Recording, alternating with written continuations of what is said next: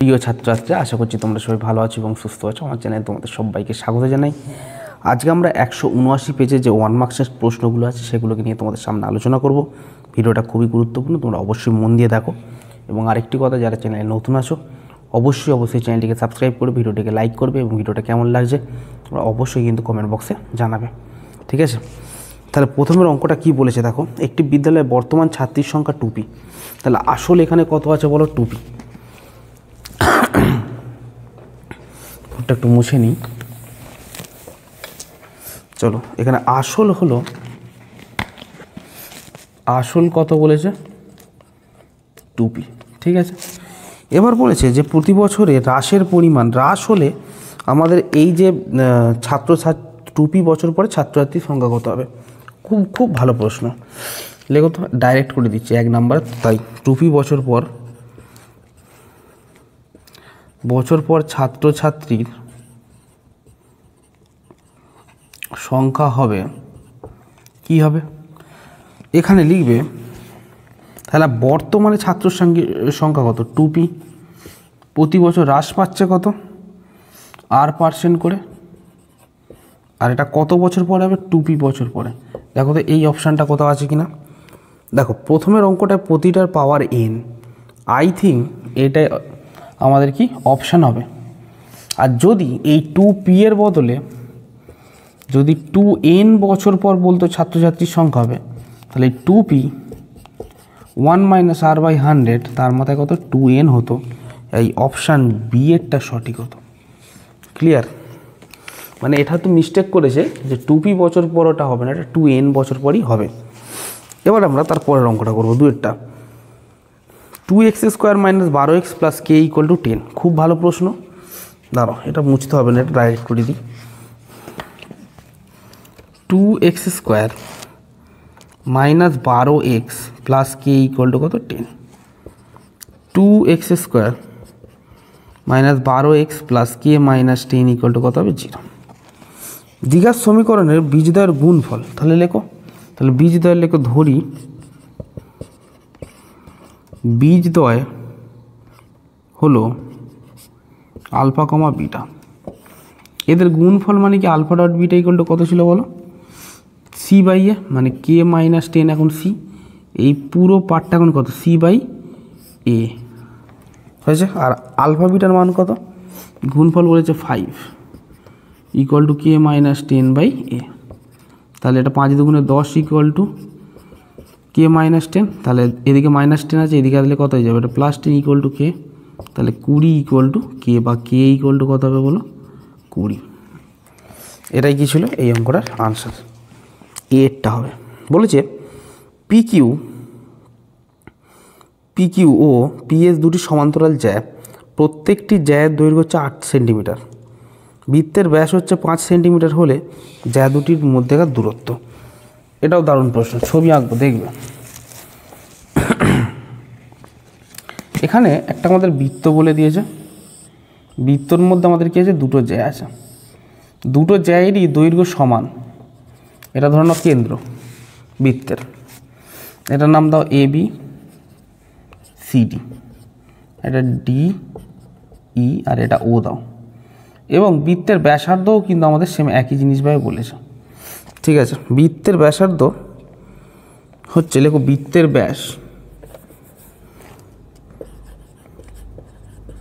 বৃত্তের ব্যাস হলো কত? Ten centimetre. তাহলে ব্যাসার্ধ কত হবে বলো? Ten by two equal to five centimetre. এটা যে কোনো একটাকে বের করলেই বেরিয়ে যাবে। এবং বিডি দেখো ওডিটা পারপেন্ডিকুলার টু কত হবে? এবি এবির ওপর কি লম্ব? অতএব বলতে পারি যে এডি যা হবে বিডি কি হবে? সেম হবে। Equal to AB by two মানে এবির অর্ধেক হয়ে যাবে। এবি যদি আট থাকে, আট বাই টু মানে এটা কত হবে? চার সেন্টিমিটার ঠিক আছে? বুঝতে পেরেছ?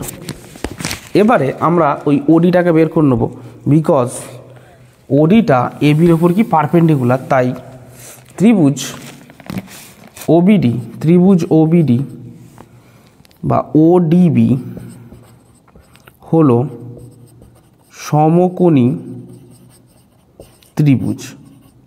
হয়েছে? কী হবে বলো? সমকোণী ত্রিভুজ। হবে এই সমকোণী ত্রিভুজ হলে কী হয়?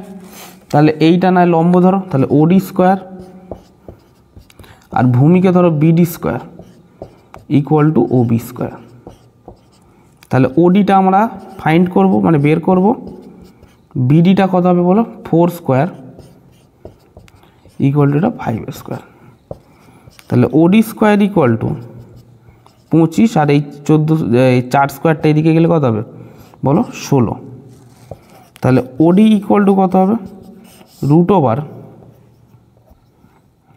nine equal to three centimetre এবার এটা যদি থ্রি সেন্টিমিটার হয় সিমিলারলি এটাও তো চার, এটাও পাঁচ, তাহলে এটাও থ্রি সেন্টিমিটার অতএব দিয়ে তোমরা নিচে লিখবে, অতএব এদিকে করি।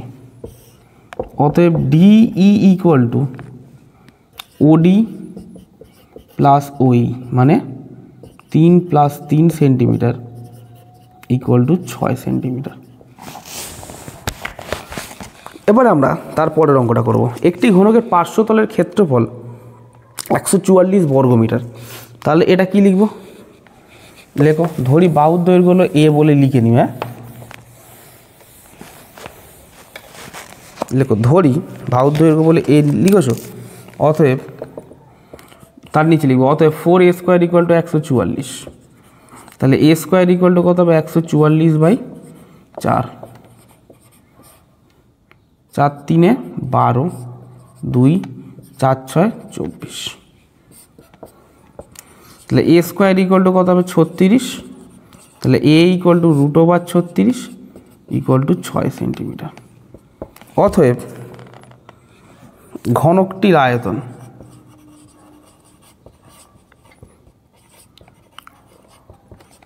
তাহলে ঘনকের আয়তন সূত্র কি সিক্সের কিউব সেন্টিমিটার কিউব বা তোমরা লিখতে পারো ঘন সেমি মানে কত হবে? দুশো ষোলো ঘন সেমি হয়েছে? এবারে, তারপরের অঙ্কটাও কিন্তু খুব ভালো প্রশ্ন। খুব ভালো প্রশ্ন এগুলো। দেখো tan alpha plus tan alpha plus cot alpha equal to two তাহলে tan alpha plus one by tan alpha equal to two LCM করো ওয়ান দিয়ে। তাহলে এটা কত হবে বলো? শুধু টেন আলফা হবে। এটা হবে tan square alpha plus one equal to কত হবে? Two tan square alpha plus one equal to two tan alpha tan square alpha minus এই টু টেন আলফাকে এদিকে নিয়ে চলে আসো। প্লাস ওয়ান ইকুয়াল টু কত হবে? জিরো এই পুরোটাকে বলতে পারি? টেন আলফা মাইনাস ওয়ান তার whole square equal to zero কী করলাম? কটটাকে ওয়ান বাই টেনে কনভার্ট করলাম, করে সোজাসুজি ভগ্নাংশে যোগ বিয়োগ করেছি। তাহলে ভগ্নাংশের নিচে কে ছিল? টেন তাই টেন লসাও গেছে। তাহলে এই টেন এই টেন গুণে টেন স্কোয়ার আর এটাও ওয়ান হয়ে যাবে। করে এদিকে নিয়ে এসেছি, নিয়ে এসে দেখলাম, এই টেন আলফাটাকে এদিকে গুণ করে দিলাম, কারণ যে নিচে থাকে সে এদিকে এলে কী হবে? গুণ হবে। তাহলে এখান থেকে আমরা পেলাম কি? Tan square alpha minus two tan alpha plus one তাহলে এটা আবার দেখতে পাচ্ছি এ মাইনাস বি তার হোল স্কোয়ার ফর্মুলা করছে মানে টেন আলফা মাইনাস ওয়ান তার হোল স্কোয়ার এবারে টেন আলফা মাইনাস ওয়ান এবার এই স্কোয়ারটাকে যদি এদিকে পাঠাই, সেই জিরোই হয়ে যাবে। তাহলে টেন আলফা ইকুয়াল টু কত হবে? ওয়ান তাহলে আরেকটা বের করি কট আলফা তাহলে কত হবে? One by tan alpha equal to one by one equal to one clear এবারে দেখো tan alpha tan twenty five alpha plus cot twenty five alpha তাহলে এটাকে লেখো টেন আলফা তার power twenty five plus cot alpha তার power কত হবে? Twenty five মানে one to the power twenty five plus one to the power কত হবে? টোয়েন্টি ফাইভ মানে ওয়ান প্লাস ওয়ান পাওয়ারে যাই থাকুক না কেন ওয়ানের ওয়ানই হবে। টু আনসার ঠিক আছে? এবারে দেখো, ঊর্ধ্বক্রমে সাজানো আছে সেখান থেকে আমাদের কি বের করতে হবে? এক্সের মান বের করতে হবে। কিন্তু এরা মধ্যমা দিয়ে দিয়েছে। ঠিক আছে? মধ্যমা কি করেছে এরা? দিয়ে দিয়েছে। তাহলে খুবই ভালো হলো। মধ্যমা যদি দিয়ে দেয়, তাহলে এটা কি? খুবই বেটার হবে। ব্লুটা দিয়ে লিখি। তাহলে এইখানে মধ্যমা এরকমই হবে। X plus one X plus এই এই যে মিডিলের দুটো নাম্বার আছে। এক্স দিয়ে আমাদের যে দুটো নাম্বার আছে বাই টু ইকুয়াল টু কি হয়? মধ্যমা হয়। তাহলে two X plus four by two equal to কত হবে বলো? মধ্যমার মান কত দিয়েছে? চব্বিশ। তাহলে two common now X plus two by two equal to চব্বিশ। টু টু কেটে যাবে। তাহলে X equal to sorry X plus two equal to চব্বিশ এক্স ইকুয়াল টু চব্বিশ মাইনাস দুই মানে বাইশ। হয়েছে এবারে আমরা শূন্যস্থান পূরণের অঙ্কগুলিকে করব। খুব ভালো প্রশ্ন, দেখো, শূন্যস্থান পূরণের অঙ্ক। বলেছে, সুদীপ্ত, সুদীপ্তা, পাঁচ হাজার টাকা আট মাসের জন্য এবং রিমা সাত হাজার টাকা পাঁচ মাসের জন্য একটি ব্যবসায় নিয়োগ করে। তাদের লাভ্যাংশের অনুপাত একই হবে। লাভ্যাংশের অনুপাত বের করতে হবে। অতএব লেখো, সুদীপ্তা ও রিমার লাভ্যাংশের অনুপাত হলো, লেখো, সুদীপ্তা সুদীপ্তা। সুদীপার লাভ্যাংশ, অনুপাত, আর একটা কী বলেছে? রিমা। রিমার কি হবে বলো? লাভ্যাংশ। দেখো, এখানে মাসের সঙ্গে মেন অ্যামাউন্টটা যেহেতু মাসে দিয়েছে, আগের ভিডিওতে বলেছিলাম, এরকম কেস থাকলে আমরা মাসেরটাকে কিসে কনভার্ট করে নেব? এই সরি মানে এটা তার লাভ্যাংশটা নয়, এটা মূলধন কত হবে বলো? পাঁচ হাজার গুণ আট। কেন? কারণ মূলধনের সঙ্গে যদি আমরা ইয়ারে করি, সেই ক্ষেত্রে পাঁচ হাজারই মূলধন থাকবে। কিন্তু যখনই মাস ঢুকে যাবে, তখনই কিন্তু ওই পাঁচ হাজারের সঙ্গে মাসটাকে গুণ করতে হবে। সাত হাজার ইন্টু পাঁচ। একটা দুটো তিনটে, একটা দুটো তিনটে। তাহলে ফাইভ গুণ আট ইস টু সেভেন গুণ পাঁচ। পাঁচ পাঁচ কেটে দাও। তাহলে এইট ইস টু কত হবে? সেভেন হয়েছে? এবার বলেছে, একটি বৃত্তস্থ ট্রাপিজিয়াম, একটি কি? সামতলিক এবার তিনেরটা, একটি নিরেট গোলকের দ্বিগুণ বক্রতলের ক্ষেত্রফল ও ছগুণ আয়তনের সংখ্যামানের সমান। একটি নিরেট গোলকের দ্বিগুণ বক্রতলের ক্ষেত্রফল। তাহলে গোলকের বক্রতলের ক্ষেত্রের সূত্র কি? বলো তো, ফোর পাই আর স্কোয়ার। তাহলে এখানে লিখবে, ব্যাসার্ধ হলো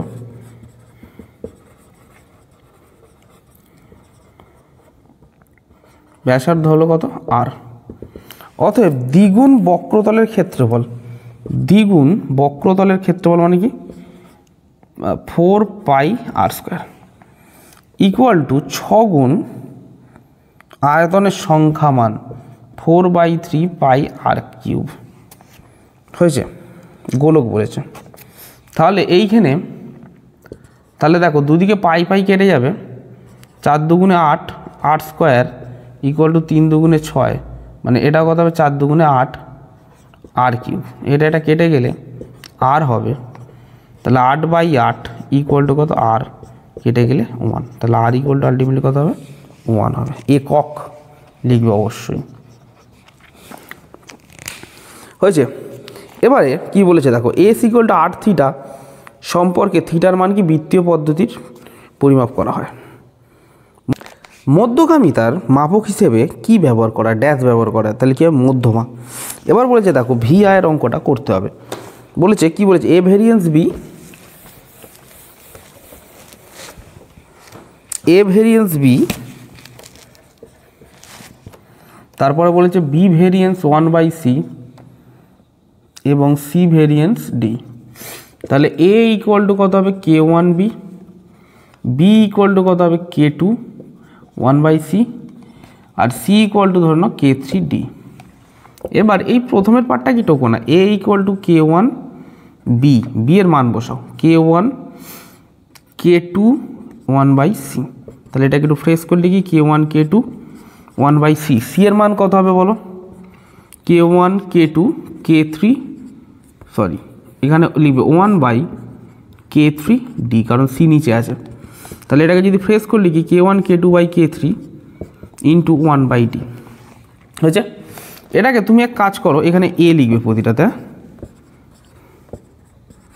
এ তাহলে এ ইকুয়াল টু এটাকে ধরে নাও কে ফোর ধরে নাও ওয়ান বাই ডি যেখানে কে ফোর হলো K one K two by K three এবং অশূন্য ভেদধ্রুবক বলে তোমরা এটা লিখবে এবং এগুলো তো কে ওয়ানেও লিখবে, কে টুতেও অশূন্য ভেদধ্রুবক লিখবে এবং কে থ্রিতেও লিখবে। তাহলে এটাকে আমি কি লিখতে পারি? A variance one by D ঠিক আছে, তাহলে এ ও ডি এর মধ্যে সম্পর্কে কি? ব্যস্ত। কী হবে? ব্যস্ত ভেদ। বা এটা লিখে দেবে A variance one by D এবারে তিনের দাগের সত্য মিথ্যার অঙ্কগুলিকে করব। ছয় পূর্ণ একের চার শতাংশ। হার সুদে সাতশো টাকা মানে পি হচ্ছে আমার কাছে সাতশো টাকা। সুদের হার হচ্ছে ছয় পূর্ণ একের চার মানে পঁচিশ বাই চার পার্সেন্ট। টি হচ্ছে এক দিন, দিনে তো আর সরল সুদ হয় না, তাই এটাকে এক বাই তিনশো পঁয়ষট্টি দিন করে দেবো। ঠিক আছে? এবং সুদ হবে একশো পঁচিশ টাকা, সেটা বের করে দেখি হয় কিনা। তাহলে আই ইকুয়াল টু কত হবে? P R T by hundred তাহলে পি হবে সাতশো তিরিশ আর হবে পঁচিশ বাই চার টি হচ্ছে তিনশো পঁয়ষট্টি বাই হান্ড্রেড এই শূন্য এই শূন্য কেটে যাবে। তিয়াত্তর দিয়ে এটা কাটলে হচ্ছে পাঁচ। কারণ তিয়াত্তর দিয়ে কাটলে পাঁচ, তিন পনেরোর পাঁচ হাতে এক, পাঁচ ছত্রিশ হাজার তাহলে এটাকে লিখতে পারি,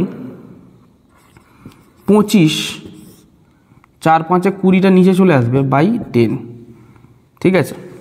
তো এইখানে কোনো মতেই দেখো,